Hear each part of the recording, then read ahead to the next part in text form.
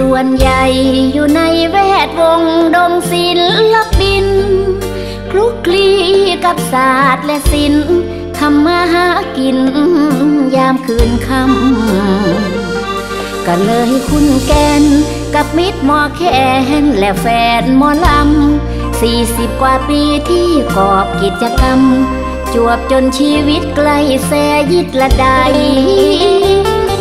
จึงเป็นโอกาส จะสมนาคุณท่านผู้ใจดี เคยช่วยก่อนหน้านี้ นกน้อยทราบดีและจำได้ จึงขอตอบแทน เจ้าภาพและแฟนคลับทุกน้ำใจ โดยสร้างผลงานชนิดยิ่งใหญ่ คืนกำไรแบบอลังการ ได้จากท่านมา เมื่อถึง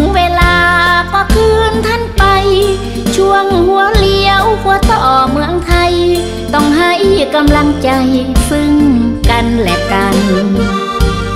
หกสิบปี วิถีนกน้อยวงเสียงอีสาน ในฐานะมนุษย์บ้างาน ทราบสถานการณ์ทะลุปลุกโปรงช่วงปลายปีหน้าห้ารอบครบแปลแสยิดเนียนเนียน แต่นกน้อยจะไม่เกษียณ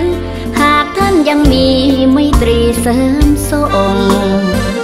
ขึ้นหลังเสือแล้ว มันลงยากจังทั้งที่อยากลง เมื่อแฟนหญิงชายน้ำใจยังห่วง เสียงอีสานก็คง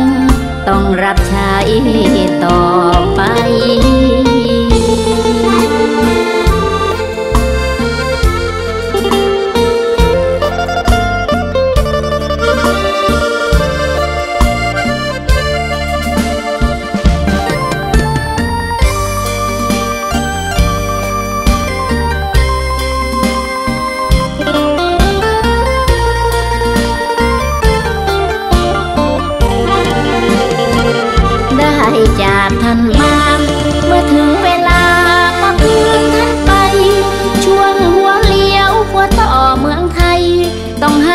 ำลังใจ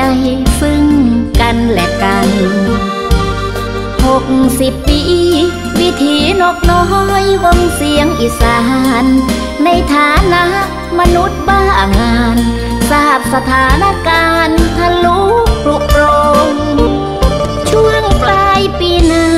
ห้ารอบครบแปลแสยิดเนียนเนียน แต่นกน้อยจะไม่เกษียณ หากท่านยังมี เสริมส่งขึ้นหลังเสือแล้ว มันลงยากจังทั้งที่อยากลง เมื่อแฟนหญิงชายน้ำใจยังห่วง เสียงอีสานก็คง ต้องรับใช้ต่อไป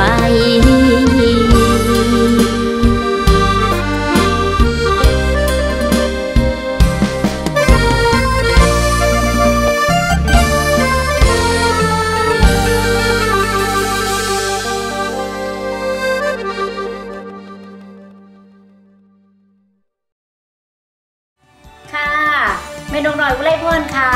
อย่าลืมกดติดตามช่องยูทูบบ้านนกน้อย Official นะคะ กดไลค์แชร์เยอะๆค่ะ